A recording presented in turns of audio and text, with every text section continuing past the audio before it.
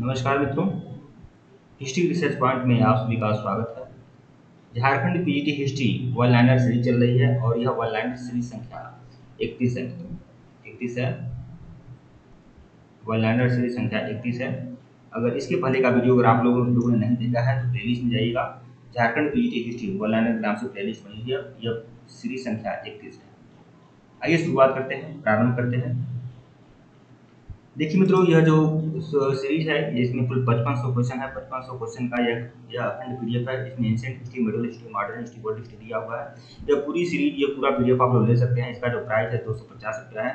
आप लोग हमारे ऑफिशियल व्हाट्सएप नंबर पर मैसेज कर लीजिएगा। हमारा ऑफिशियल व्हाट्सएप नंबर डिस्क्रिप्शन में भी है, ऊपर भी शो हो रहा है। और यहाँ पर भी लिख दे रहा हूँ ये हमारा ऑफिशियल व्हाट्सएप नंबर है eight three one eight three nine seven two seven six आप मैसेज करिएगा, दो सौ पचास रुपये पेमेंट करिएगा, ये पीडीएफ आपको मिल जाएगा। INSAT history methodology modern history world history संबंधित पचपन सौ क्वेश्चन है जो बेहतरीन है ज़बरदस्त है, रामबाण है, परीक्षा के लिहाज से बहुत ही महत्वपूर्ण है। ठीक है? और यह सीरीज़ संख्या इकतीस है। बत्तीस है, बत्तीस। सामग्री का बत्तीस है। अगर इसके पहले का वीडियो नहीं देखे हैं प्ले लिस्ट में जाइएगा। आइए शुरुआत करते हैं। प्रश्न तेरह सौ छियासठ देखिएगा। इसी, इस, इसी लीप को किस तरह से लिखा जाता है? देखिए मैं सिंधु घाटी सभ्यता के लीप के बारे में बात कर रहा हूँ। सिंधु घाटी सभ्यता की जो लीप थी, वह कैसे थी? बाई से दाएँ की ओर। प्रश्न तेरह सौ सड़सठ। आज़ादी के बाद भारत में सबसे अधिक हड़प्पा युगीन स्थल की खोज कहाँ हुई थी? गुजरात में। प्रश्न तेरह सौ अड़सठ। किस चंद्रकालीन पुरास्थल से घोड़े की हड्डी मिले हैं सुपोखता से। तेरह सौ उनहत्तर देखिएगा सैंदो स्थलों में किस जगह पर सर्वप्रथम कृषि के साक्ष्य मिला है? तो मेहरगढ़ से। मेहरगढ़ से कृषि के साक्ष्य मिले हैं। प्रश्न तेरह सौ सत्तर देखिएगा वह कौन सा हड़प्पा का स्थल है जो कि स्तरीय है? धोलावीरा। प्रश्न तेरह सौ इकहत्तर, चावल के उत्पादन के साक्ष किस पुरा स्थल से प्राप्त हुए हैं लोथल और रंगपुर से। तेरह सौ बहत्तर, किस प्राक हड़प्पा स्थल से कुंड मतलब रेखा के साक्ष मिले हैं? तो यह कहाँ से मिले हैं? कालीगंगा से। प्रश्न तेरह सौ तिहत्तर देखिएगा पंजाब की किस नदी के नाम पर एक ताम्र पाषाणी संस्कृति का नाम प्रयोग किया गया है, सोन संस्कृति के नाम पर। प्रश्न तेरह सौ चौहत्तर, किस चंदो से फर्श की निर्मित अलंकृत ईटों का प्रयोग किया गया था? कालीबंगा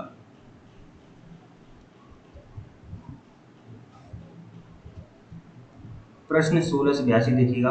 लोथल किस नदी के तट पर बसा है? भोगवा नदी के तट पर लोथल बसा है।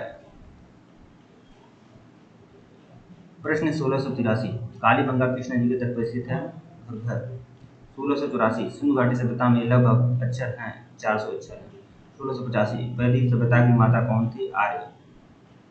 वैदिक सभ्यता की माता कौन थी? आर्य थे। प्रश्न सोलह सौ छियासी, ऋग्वेद में प्रमुख राज्य के पदाधिकारी कौन था? पुरोहित सोलह सौ सतासी गुप्त संवत की तिथि क्या है? तीन सौ उन्नीस, तीन सौ उन्नीस। सोलह सौ अट्ठासी, हड़प्पा सभ्यता का मुख्य बंदरगाह कहाँ था? लोथल।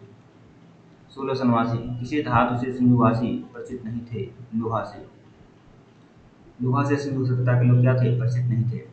सोलह सौ नब्बे देखिएगा मौर्य साम्राज्य का संस्थापक कौन था? चंद्रगुप्त मौर्य। सोलह सौ इक्यानवे, किस राक्षस का अंत अपने ही हाथ, अपने ही सिर पर रखने के कारण छल से हुआ था? भस्मासुर का सोलह सौ बानवे देखिएगा हड़प्पा सभ्यता किस काल से संबंधित है? तो काश युग से संबंधित है। सोलह सौ तिरानवे, चरक कौन थे? एक चिकित्सक या कनिष्ठ काल के चिकित्सक थे प्रश्न सोलह सौ चौरानवे वंश की राजधानी एक सौ पचास पचास में किसने की थी? पुष्मित्र ने प्रश्न सोलह सौ पंचानवे, मौर्यों के बाद दक्षिण भारत में सबसे प्रभावशाली राज्य था शातवाहन शातवाहन सोलह सौ छियानवे चंद्रगुप्त विक्रमादित्य को विक्रमादित्य कहा जाता है। इसकी उज्जैन शासकों पर विजय के फलस्वरूप उज्जैन शासकों के फलस्वरूप विजय के फलस्वरूप ही चंद्रगुप्त विक्रमादित्य को विक्रमादित्य कहा जाता है। चंद्रगुप्त को विक्रमादित्य कहा जाता है। सोलह सौ सत्तानवे चंद्रगुप्त विक्रमादित्य के दरबार में नौरत्नों में सबसे अधिक प्रसिद्ध कौन था? कालिदास। कालिदास। सोलह सौ अट्ठानवे उड़ीसा में कोणार्क मंदिर का निर्माण किसने करवाया था? नरसिंह देव प्रथम ने। नरसिंह देव प्रथम ने। सोलह सौ निन्यानवे चट्टानों को काट कर महाबलीपुरम का मंदिर किसने किसके द्वारा बनवाया गया था, पल्लव द्वारा बनाया गया चट्टानों को काट कर महाबलीपुरम का मंदिर किसके द्वारा बनवाया गया था, पल्लवों के द्वारा बनवाया गया था। सत्रह सौ में कांचीपुरम का कैलाशनाथ मंदिर किसके आदेश पर निर्मित हुआ था, नरसिंह बर्मन। कांचीपुरम का जो कैलाशनाथ मंदिर है, किसके आदेश पर निर्मित हुआ था, नरसिंह बर्मन। नरसिंह बर्मन। कांचीपुरम के कैलाश नाथ मंदिर किसके आदेश पर निर्मित हुआ था नरसिंह वर्मन सत्रह सौ एक गुर्जर प्रतिहार वंश की स्थापना किसने की थी? नागभट्ट ने नागभट्ट ने। गुर्जर प्रतिहार वंश की स्थापना किसने किया है? नागभट्ट ने किया है। सत्रह सौ दो, दक्षिण भारत का कौन सा राजवंश अपनी नौसैनिक शक्ति के लिए प्रसिद्ध था? चोल सत्रह सौ तीन, किन संतों को अलवार संत कहा जाता है? वैष्णव।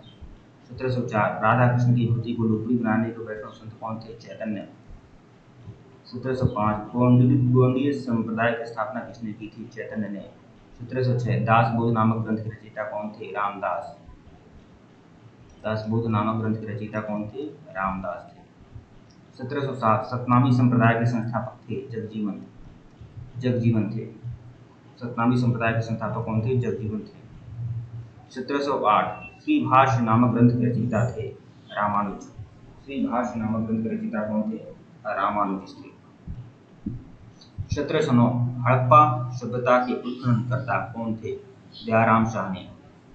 सत्रह सौ दस सिंधु सभ्यता की नीति क्या थी? ब्रष्टो खंडम थी सिंधु सभ्यता की नीति क्या थी? ब्रष्टो खंडम सत्रह सौ ग्यारह, सिंधु घाटी सभ्यता का नवीनतम स्थल है, धोलावीरा। सत्रह सौ बारह, सिंधु सभ्यता के किस स्थल से दुनिया का सबसे पुराना स्टेडियम मिला है? धोलावीरा से मिला है। सत्रह सौ तेरह सिंधु सभ्यता के महान रचनागार कहाँ प्राप्त हुए हैं? मोहनजोदड़ो से प्राप्त हुए हैं। सिंधु सभ्यता के जो महान रचनागार मिले हैं, वो मोहनजोदड़ो से मिले हैं। सत्रह सौ चौदह देखिएगा मोहनजोदड़ो एक प्राचीन नगर का ध्वंसावशेष है। इस परंपरा के कुछ अन्य नगरों का भी पता चला है। कहा जाता है कि मोहनजोदड़ो की सभ्यता ईसा से करीब तीन हज़ार वर्ष पूर्व की है।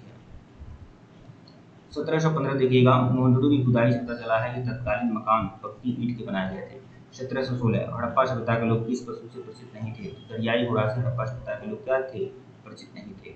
सत्रह सौ सत्रह, सिंधु घाटी सभ्यता खुदाई में विशाल स्नागार कहाँ मिला है? मोहनजोदड़ो मिला है।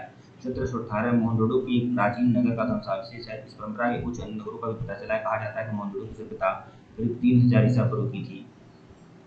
देखिए मित्रों, अगर आपको यह लग रहा है कि मेरी स्पीड बहुत तेज है, मैं मैं जल्दी जल्दी बोल रहा हूँ जल्दी जल्दी पढ़ा रहा हूँ तो यूट्यूब इस प्रकार की सुविधा है। आप अपनी वीडियो की दाएँ साइड देखिएगा राइट साइड तीन डाट बने होंगे। उस पर क्लिक करेंगे तो वहाँ पर हमारी स्पीड को हाई और स्लो करने की, करने का ऑप्शन रहेगा।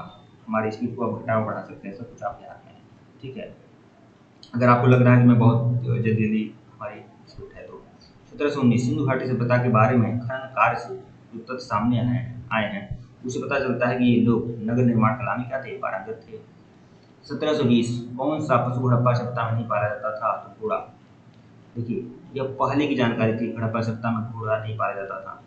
अब हाल ही में यह जानकारी मिल चुकी है कि मतलब घोड़े के साथ तो मिले हैं, पाला नहीं जाता था हाँ पाला नहीं जाता था। सत्रह सौ इक्कीस देखिएगा हड़प्पा के निवासियों द्वारा आयातित सबसे महत्वपूर्ण वस्तु क्या थी? धातु और बहुमूल्य पत्थर। सत्रह सौ बाईस, उत्तरोत्तर हड़प्पा संस्कृत अवशेष कहाँ से मिले हैं? रंगपुर से। सत्रह सौ तीस, हड़प्पा कहाँ स्थित है? तो पंजाब में पंजाब में, पाकिस्तान के पंजाब में। सत्रह सौ चौबीस सिंधु घाटी सभ्यता के लोग किससे परिचित थे। लोहे से अपरिचित थे, सिंधु घाटी सभ्यता के लोग। सत्रह सौ पच्चीस देखिएगा वैदिक काली नदी पुष्पड़ी किसकी नदी जिसके तट पर दस राजाओं का युद्ध हुआ था इसका आधुनिक नाम क्या है? रावी नदी। रावी नाम है। सत्रह सौ छब्बीस मोहनजोड़ो का शाब्दिक अर्थ क्या है? मुर्दों का टीला सत्रह सौ सत्ताईस मोहनजोड़ो से प्राप्त मूर्तियों का आधार पर कहा जा सकता है। सिंधु की सभ्यता से संबद्ध लोग थे। क्या थे सिंधु घाटी सभ्यता से संबद्ध लोग? शैव थे शैव सत्रह सौ से प्राप्त सामग्री और धातु खंडों से पता चलता है कि यहाँ निवासियों को अनेक प्रकार की धातुओं का ज्ञान था, किंतु लोहे का ज्ञान नहीं था। सत्रह सौ उनतीस सिंधु घाटी सभ्यता के लोग शायद मुख्य रूप से मूर्ति पूजा करते थे मूर्ति पूजा में दक्ष थे, मूर्ति पूजा किया करते थे। सत्रह सौ तीस मोहनडू से प्राप्त मूर्तियों का आधार पर कहा जा सकता है, सिंधु घाटी सभ्यता से संबंध लोग क्या थे? शैव थे, शैव उपासक थे, ठीक है।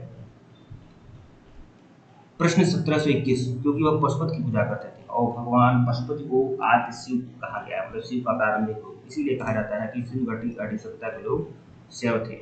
सत्रह सौ इकतीस मोहनजोदड़ो से प्राप्त सामग्री और धातु खंडों से पता चलता है यहाँ के निवासियों को अनेक प्रकार के धातुओं और धातुओं का ज्ञान था। किंतु लोगों का ज्ञान नहीं था। सत्रह सौ बत्तीस, सिंधु घाटी सभ्यता के लोग शायद मुख्य रूप से मूर्ति पूजा करते थे। सिंधु घाटी सभ्यता के लोग खनन कार्य से जो तथ्य सामने आया जो पता चलता है ये लोग नगर निर्माण का काम क्या थे? पारंगत थे।